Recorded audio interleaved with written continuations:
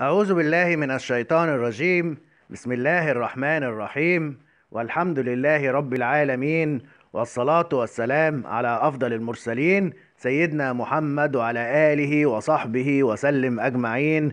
السلام عليكم ورحمة الله تعالى وبركاته.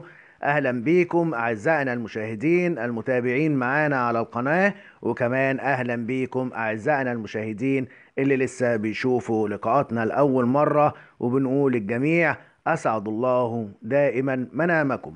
إن شاء الله النهاردة هنتكلم عن تفسير رؤية جديدة من الرؤى وهيكون معانا في لقائنا اليوم رؤية اسم من أسماء الله الحسنى في المنام واسم الله اللي هيكون معانا في تفسير رؤيته في المنام في لقائنا ده هو اسم الله الغني. وأول ما هنتكلم هنتكلم عن معنى اسم الله الغني في اللغة وهو إن الله هو الغني عما سواه وكل شيء إليه فقير. ودي لوحدها كفاية تبين معنى اسم الله الغني.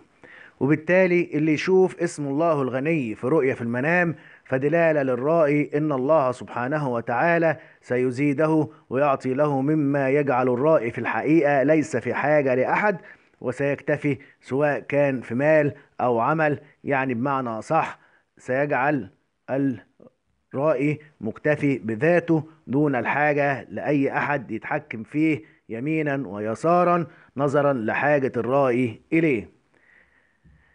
يعني معنى صح إن أي حد مريض وشاف اسم الله الغني في رؤية في المنام فدلالة ليه إن الله سيغنيه عن تردده على الأطباء والطبيب ده يقول له حاجة والطبيب تاني يقول له حاجة تانية وكمان ربنا سبحانه وتعالى سيغنيه من أن يسأل حد أموال علشان يتعالج ويصرف على مرضه لأنه بسبب ظروف مرضه أكيد أصبح بلا عمل ولا يملك أموال حتى يصرف منها على المرض.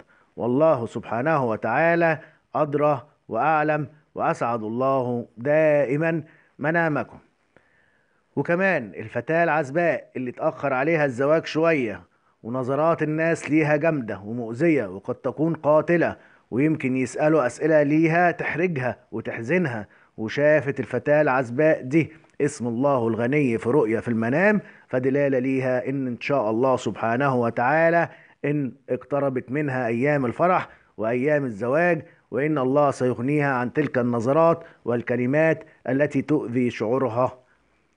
وكمان اسم الله الغني يعني إن الله سبحانه وتعالى سيبدل حال إلى حال عكس الحال الحالي وأكيد للرائي.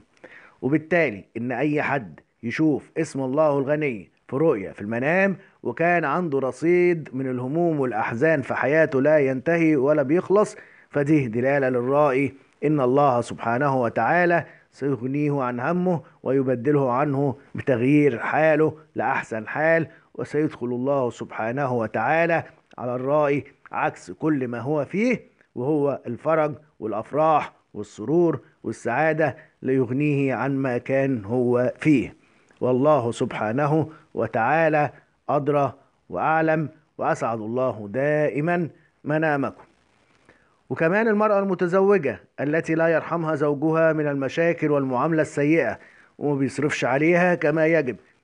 وشافت اسم الله الغني في رؤية في المنام فدي دلالة ليها إن الله سيغنيك عن احتياجك لهذا الزوج وسيفتح لك بابا تعيشين منه دون الاحتياج أو اللجوء إليه وإن الله سيصلح حاله ويبدأ يتعامل معاك برفق ولين عن الأول مما يغنيك عن معاملته السابقة التي كانت مليئة بالقسوة.